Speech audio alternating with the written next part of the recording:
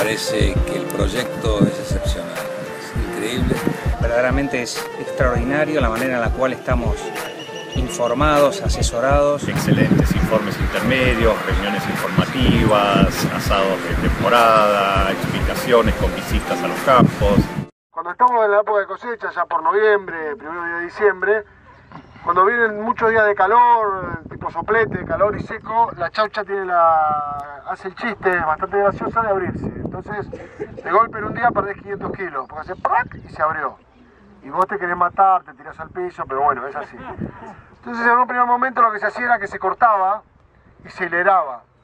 Entonces, se, se cortaba cuando estaba verde, antes que se seque, se le dejaba en el piso, esperando que se seque y se juntaba desde ahí.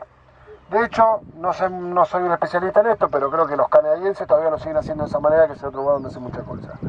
Acá cuando empezó el cultivo en Argentina, algunos lo hacían de esa, manera y otros se cosechaban en pie. Hoy ya casi no hay discusión de que esto se cosecha en pie. Todo el mundo prácticamente lo hace en pie.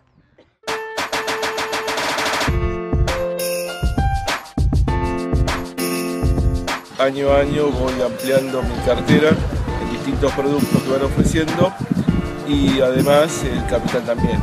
La información que recibo por internet es fantástica, los research espectaculares, muy claros, muy serios. El don de gente del grupo, del equipo que forma el BLIC es lo que más me ha cautivado y es lo que me ha llevado a ponerme en este grupo. Y además hoy tengo amigos, hoy realmente los considero amigos, he estrechado buenos lazos con muchos de ustedes. La vivencia interna de mi casa es algo familiar, o sea, mis hijos que son grandes eh, les interesa, vienen a las charlas, o sea, es algo casi como un proyecto familiar. Eh, la verdad que está, está bueno, por lo menos yo estoy contento.